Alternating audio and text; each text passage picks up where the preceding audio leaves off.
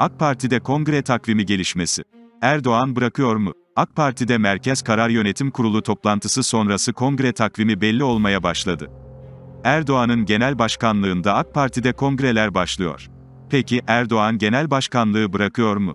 Cumhurbaşkanı ve AK Parti Genel Başkanı Recep Tayyip Erdoğan başkanlığında toplanan AK Parti Merkez Karar ve Yönetim Kurulu toplantısı sonrası AK Parti'nin Büyük Kongre'nin Eylül veya Ekim aylarında yapılması planlanıyor.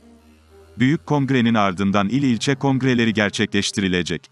Erdoğan'ın AK Parti'nin genel başkanlık koltuğunda devam edip etmeyeceği henüz bilinmiyor.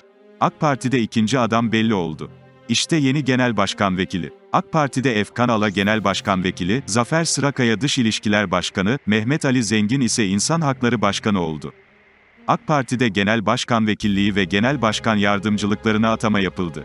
Parti kaynaklarından alınan bilgiye göre AK Parti Genel Başkan Vekilliği görevine dış ilişkilerden sorumlu Genel Başkan Yardımcısı Efkan Ala atandı. Dış ilişkilerden sorumlu Genel Başkan Yardımcılığı görevine Zafer Sırakaya, insan haklarından sorumlu Genel Başkan Yardımcılığı görevine ise Mehmet Ali Zengin getirildi. Diğer yandan genel af bekleyenlere kötü haber. Af gelebilir diyen AKP'li çark etti. Eski Bakan Müslüm Doğan'ın genel af çıkışıyla başlayan tartışmalara katılan AKP'li Ensarioğlu af gelebilir açıklamasından geri adım attı. Milletvekili Galip Ensarioğlu böyle açıklamam olmadı dedi. Genel af konusu gündeme zaman zaman gelmeye devam ediyor. Af taleplerinin de sıklıkla dillendirildiği ortamda, bugünlerde af iddiaları yeniden gündeme geldi.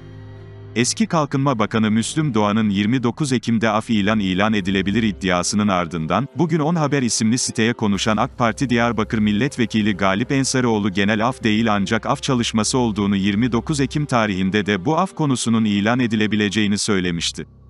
Genel af kimleri kapsayacak, af kimlere olacak soruları belirdi.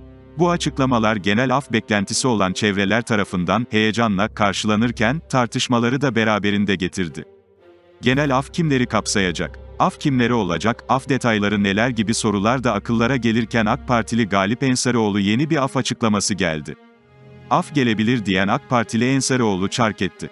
Galip Ensarioğlu söz konusu af açıklamalarına ilişkin, Twitter hesabından yaptığı açıklamada genel af ile ilgili konuşmadığını yazdı. Bugün 10 Haber'de Caner Taşpınar tarafından benim ile ilgili genel af çalışması vardır şeklinde haberler yapılmıştır. Genel af çalışması vardır şeklinde hiçbir açıklamam bulunmamaktadır.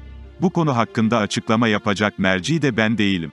Haberi yapan şahıs ve kurum hakkında avukatlarım aracılığıyla yasal işlemi başlattım. Kamuoyuna duyurulur. Haberi yapan Caner Taşpınar da Ensarioğlu'nun açıklamasını alıntılayıp şunları yazdı. Galip Bey zaten ben de genel af diye yazmadım. Siz neye itiraz ediyorsunuz anlamadım. Sizi aradım ve genel af çalışması olmadığını ancak af çalışması olduğunu söylediniz. 29 Ekim gibi yakın bir tarih mi diye sordum. Evet olabilir dediniz. Dolayısıyla siyaset yapıyorsunuz. Yasal işlem de başlatabilir, sizin takdiriniz.